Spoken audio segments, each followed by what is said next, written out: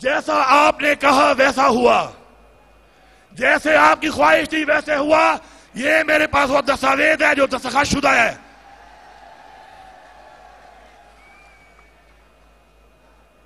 लेकिन एक बात याद रखें, हमारे अंदर और हमारे बाहर ऐसे अनासिर मौजूद हैं जो कि हर बात को तोड़ मरोड़ कर गलत पेश करते हैं। पहले बताऊँ आप ही के सोलह नुकात में एक नुकता था कि मदारस या किसी भी घर या किसी भी जगह जिसको समझा जाता है कि कोई खुफिया ठिकाना है तो वहाँ पर कोई और इदारा नहीं, बल्कि हमारी इंतजामिया और हमारी पुलिस, जो कि वो हालात को जानती है, सिर्फ़ वो जाएगी और सिर्फ़ मामलात को वो हल करेगी।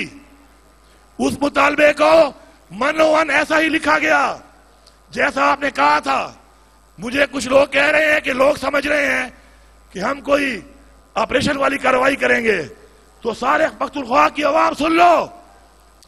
मदरसे के बच्चे हमारे दिलों के बहुत करीब हैं, क्योंकि जो तालीम हासिल कर रहे हैं, वो हमारे दीन की तालीम है।